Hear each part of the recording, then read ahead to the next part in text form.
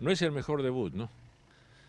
No, yo creo que ya lo teníamos este, previsto, que teníamos la Copa Argentina, pero nos va a servir mucho porque es un rival de jerarquía y va a ser una medida linda para esta preparación que estamos haciendo. Esto es cuestión de sumar entrenamiento y de jugar muchos partidos. A medida este, que van pasando los juegos, los jugadores se van entendiendo, van entendiendo el mensaje del entrenador, se van este, un poco coordinando entre ellos dentro de la cancha y eso lo dan generalmente la cantidad de partidos. Eh, yo creo que un partido no decide o no, te da una opinión determinante. Me va a hacer eh, ver una...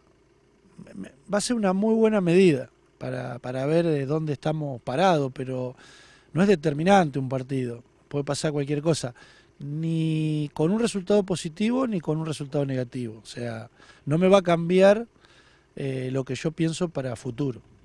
¿Cuál va a ser el mitre que vamos a ver? Por ahora, un mitre intenso, eh, con mucha predisposición a la hora de recuperar la pelota y buscar velocidad de juego.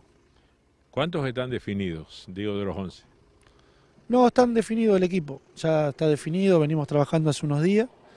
Eh, nada más que tengo que ver eh, el tema de la llegada de pases de Tolosa y Ojeda. El resto está confirmado.